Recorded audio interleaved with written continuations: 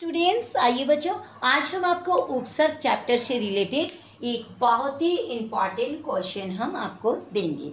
ठीक है? यहाँ पर क्वेश्चन है, अपमान शब्द में उपसर्ग क्या है?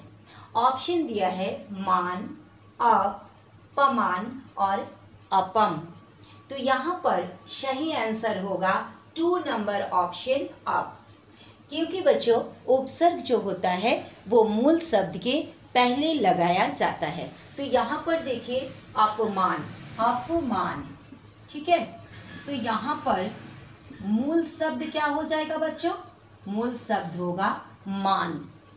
और यहाँ अप हो जाएगा उपसर्ग, क्योंकि बच्चों, मूल शब्द के पहले उपसर्ग लगाया जाता है, ठीक है? इसलिए यहाँ पर ये टू नंबर ऑप्शन सही हुआ अब।